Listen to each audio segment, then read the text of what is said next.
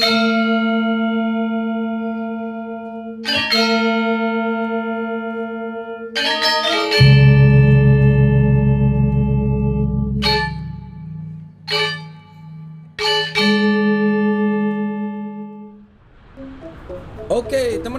kembali lagi dengan channel Ju Update. Channel selalu memberikan info-info terbaik tentang situasi Bali saat ini. Hari ini di awal tahun kita akan coba ajak teman-teman untuk jalan-jalan lagi sekitaran uh, Canggu area teman-teman. Kita akan lihat bagaimana sih perubahan dan juga Canggu yang terkenal dengan kampungnya para wisatawan terutama wisatawan-wisatawan bulenya. Kita akan lihat di jalan ini sore hari tepatnya jam setengah lima sore. Ju Update akan ajak teman-teman untuk melihat suasana Canggu di awal tahun 2024. Kita akan ajak teman-teman untuk menyisiri Jalan Pantai Berawa dan nanti kita akan tembus ke Jalan Subaksari teman-teman di mana di sana ada Vince uh, Recreation Club yang selalu ramai biasanya wisatawan-wisatawan asingnya untuk berolahraga dan di sana ada bowling juga dan uh, tempat uh, sepak bola. Di sana juga kita akan melewati Starbucks Canggu Square dan juga Cucina Deli Gelateria jadi salah satu restoran Italia yang selalu ramai dikunjungi oleh para wisatawan. Dan nanti kita akan tembus ke Jalan Pantai Berawa lagi. Kita akan menyisiri shortcut Canggu yang fenomenal. Dan juga nanti kita akan melewati uh, Pantai Berawa. Kita akan tembus di Fins Bali dan juga Atlas. Kita akan lihat bagaimana suasana di sana. Setelah itu kita akan menuju ke Eco Beach. Kita akan menyisiri Jalan Batu Mejan atau Jalan Eco Beach teman-teman. Kita akan lihat juga beberapa restoran yang selalu ramai dikunjungi oleh para wisatawan dan kita nanti di akhir video kita akan melewati Santorini restoran yang biasanya ramai dikunjungi oleh para wisatawan. Jadi inilah Jalan Pantai Berawa setengah lima sore tampak kepadatan kendaraan terutama Pantai Berawa atau Jalan Pantai Berawa ini adalah salah satu akses menuju ke beberapa beach club ternama seperti Vince dan juga Atlas serta Pantai Berawa kalau di sore hari tentunya menjadi salah satu spot foto menarik untuk melihat sunset, chilling time di beach club, beach club serta teman-teman bisa chilling time di kafe-kafe unik di sepanjang Pantai Berawa dan juga Eco Beach. Kalau di sore hari biasanya kepadatan kendaraan lebih uh, teman-teman seperti uh, sekarang teman-teman lihat Canggu memang uh, di awal-awal pandemi ataupun di masa-masa pandemi menjadi kampungnya para bule di mana banyak sekali bule-bule yang stay over di sini sehingga Canggu bisa dibilang over uh, turis di area sekitaran Canggu ini. Namun sekarang sudah mulai kondisi normal teman-teman dan bule-bule yang datang ke sini murni untuk liburan saja.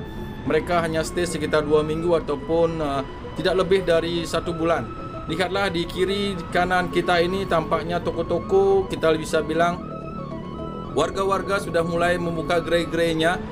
Pantai Berawa ataupun jalan Pantai Berawa sedikit berbenah, trotoar-trotoar nanti kita lihat di sana sudah mulai diperbaiki apalagi di sekitaran Pantai Eco Beach atau Pantai Batu Mejan juga trotoar sudah mulai dibenahi teman-teman. Jadi Canggu sekarang bisa dibilang sudah mulai membenahi beberapa fasilitas-fasilitas yang ada Oh ya nanti juga kita akan ajak teman-teman melewati salah satu uh, market atau Sunday market di sekitaran atau dekat dengan Labrisa. Jadi di Labrisa sana biasanya kalau minggu banyak juga wisatawan-wisatawan yang biasanya membeli uh, barang-barang uh, ataupun tempat untuk shopping biasa seperti souvenir, nongkrong ataupun sekedar menikmati keindahan sunset di Labrisa Bali. Jadi kita akan gaspol terus di area ini. Di sebelah kanan ini teman-teman bisa lihat beberapa sawah-sawah yang masih ada. Jadi ada sedikit hijau-hijaunya kalau teman-teman melewati jalan Pantai Berawa ini. Lihatlah di sebelah kanan sana. Di sebelah kiri kita lihat sudah berubah menjadi minimarket, toko dan juga restoran-restoran kecil. Jadi di sebelah kanan masih ada tanah-tanah ataupun sawah-sawah yang menghijau. Jadi Canggu juga masih uh, beberapa sawah-sawah dipertahankan. Semoga pemerintah lokal tidak uh, menghilangkan ciri khas Canggu yang terkenal dengan persawahan-persawahan yang cantik. Kita lanjut terus jalan teman-teman. Kalau kita ngomongin tentang Canggu, sebenarnya Canggu adalah tempat yang indah untuk teman-teman singgahi atau kunjungi karena Canggu sendiri terbentang di antara Pantai Kerobokan dan Pantai Eco Beach dan di sini dipenuhi dengan barbar di pinggir-pinggir pantai dengan pemandangan yang indah dan gemerlap cahaya di malam hari Selain itu, ombak-ombak di pantai-pantai Canggu ini sebenarnya merupakan salah satu yang terbaik di dunia, surganya bagi para peselancar. Pantai Eco adalah salah satu pantai yang cukup ramai dan buat teman-teman yang ingin menghabiskan waktu libur dengan surfing, datang saja ke Pantai Beach. Di sana terutama di siang hari ombaknya sangat besar sekali sehingga menjadi surganya buat teman-teman yang suka surfing. Pantai Brawa juga merupakan salah satu surganya bagi tempat-tempat orang-orang yang ingin relax, enjoy dan juga menikmati beach club beach club yang ada seperti Fins dan juga Atlas Beach Club. Nanti kita akan melewatinya teman-teman.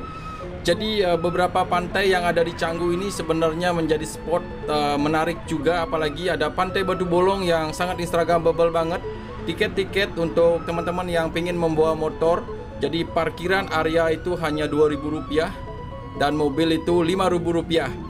Kita sekarang ambil lurus di sini dan kita akan melewati uh, salah satu uh, tempat di mana biasanya wisatawan-wisatawan berkumpul berolahraga karena di sana ada tempat fitness dan juga Fins Recreation Club.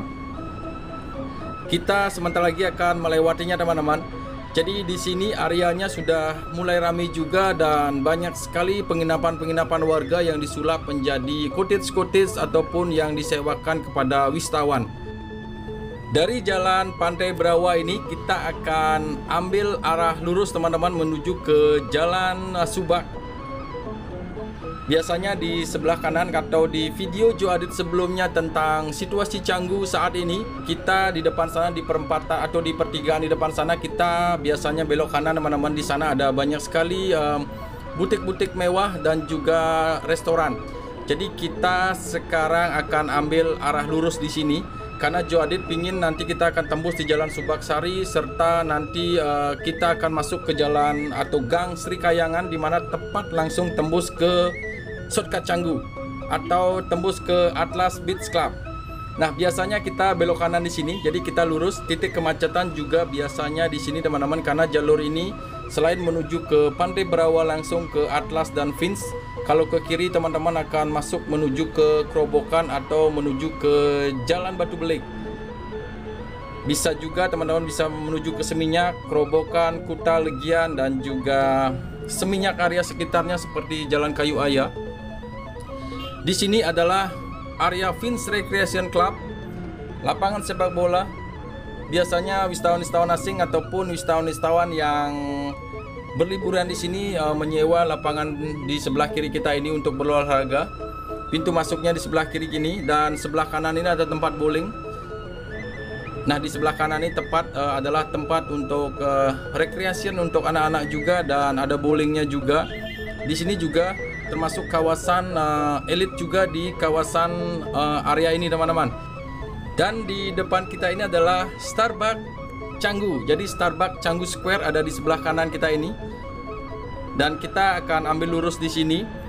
Memang uh, kalau diakui Canggu sebenarnya jalannya kecil-kecil teman-teman. Jadi Joe Update uh, merekomendasikan buat teman-teman yang suka jalan-jalan gunakanlah sepeda motor. Kalau ke kiri kita akan menuju ke arah kerobokan atau seminyak. Jadi kita ambil arah kanan di sini. Ini sebenarnya gang loh teman-teman. Jadi kalau tidak salah namanya Gang Sri Kayangan atau sekarang sudah berubah menjadi Jalan Sri Kayangan. Di sini juga terdapat hotel, olahraga dan juga restoran-restoran, minimarket dan banyak juga orang-orang ataupun wisatawan-wisatawan asing tinggal. Kita lihat beginilah situasinya. Di tikungan ini nanti kita akan melihat atau melewati warung Made yang cukup terkenal. Jadi di sinilah tempatnya. Made Suwarung biasanya sangat ramai juga teman-teman. Kita lihat di sebelah kanan ini. Tampaknya banyak juga wisatawan-wisatawan yang nongkrong-nongkrong di sore hari, terutama wisatawan asingnya. Bagi teman-teman yang sering melewati jalur ini atau kemarin liburan di akhir tahun melewati jalur ini, inilah tempat-tempat kenangan kalian. Kita akan ke arah kanan ini jadi inilah shortcut uh, Jalan Sri Kayangan atau Gang Sri Kayangan.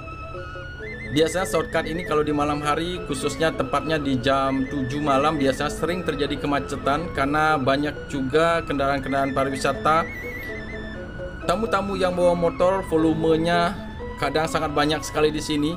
Bisa dibilang seperti shortcut Canggu yang sebentar lagi kita lewati di kiri kanan adalah awalnya adalah persawahan-persawahan cantik namun kayaknya sebentar lagi akan berubah menjadi ruko-ruko ataupun uh, restoran-restoran. Inilah jalan atau gang Sri Kahyangan. Suasana tampak masih lapang seperti ini di sini. Dan sebentar lagi kita akan melewati parkiran atau sentral parkirnya Atlas Beach Club. Jadi kemarin kita sempat nonton uh, konser Noah di Atlas. Jadi Joe Update juga parkir kendaraan di sebelah kiri. Nanti kita akan lewatinya teman-teman. Ojek online sangat laris sekali di Canggu ini karena banyak sekali wisatawan-wisatawan asing dan wisatawan-wisatawan domestik yang sedang berliburan di area Canggu ini menggunakan jasa ojek-ojek online karena dari tadi kita melihat jalan-jalan di Canggu memang kecil seperti ini. Jadi buat teman-teman yang pernah macet-macetan, pernah jengkel di sini, di next uh, liburan jadi buat teman-teman yang membawa mobil mungkin parkir mobilnya di hotel dan teman-teman bisa mengeksplor Canggu dengan ojek online ataupun menyewa motor. Di sebelah kiri ini adalah sentral parkirnya Atlas Beach Club. Buat teman-teman yang kehabisan parkir menuju ke Pantai Berawa juga bisa menggunakan fasilitas Fins uh, parkir area ataupun Atlas Beach Club ini di sini adalah area-area toko-toko oleh-oleh dan di depan adalah Atlas Beach Club, salah satu uh, beach club yang sempat menghebohkan di Bali. Di sebelah kiri adalah beberapa restoran-restoran legend juga di Canggu area ini. Nah, ini adalah jalur menuju ke Pantai Berawa yang biasanya sangat ramai sekali di sore hari. Setelah Atlas Beach Club, kita akan melihat bagaimana keramian orang-orang di Fins Beach Club yang menjadi beach club yang paling ramai dan Joe Adi juga pernah mereviewnya. Jadi buat teman-teman yang kepo apa sih dalamnya dari Fins Beach Club? Kita sudah pernah virtual tour. Secara detail sekitar videonya 40 menit. Kita sudah melihat bagaimana wisatawan-wisatawan menghabiskan liburannya. Berjoget, bergembira, melihat sunset, chilling time, relax di pantai ataupun di uh, chair-chair yang ada di Fins Beach Club. Inilah suasananya teman-teman trotoar-trotoar di sebelah kiri kanan ini adalah trotoar-trotoar baru. Jadi semoga trotoar dipertahankan sehingga pejalan kaki semakin nyaman di sekitaran area ini.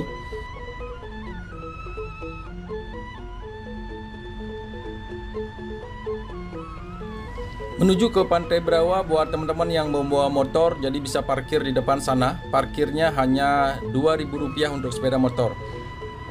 Kita akan belok arah di sini. Jadi setelah ini kita akan menuju ke shortcut Canggu. Kita akan lihat bagaimana keramaiannya dan nanti kita akan tembus ke Jalan Batu Mejan. Kita akan lihat suasana di Eco Beach dan juga Sunday Market Labrisa. Lihatlah di depan sini Vince Beach di sore hari tampaknya penuh teman-teman dan ini ada wisatawan yang sedang ditolak untuk masuk ke dalam. Jadi uh, inilah suasana Canggu. Canggu yang dulu padat dan bisa dibilang over tourism jadi sekarang sudah mulai sedikit tertata dan sudah mulai sedikit uh, lenggang dan kita bisa bilang Canggu sudah mulai menata dirinya mungkin uh, pemerintah lokal ataupun pemerintah pusat sudah mulai memperhatikan Canggu yang sangat terkenal ini sudah harus uh, semestinya ada kendaraan-kendaraan ataupun kita bisa bilang kendaraan umur yang proper di mana tamu-tamu tidak harus menggunakan mobil masuk ke area Canggu ini.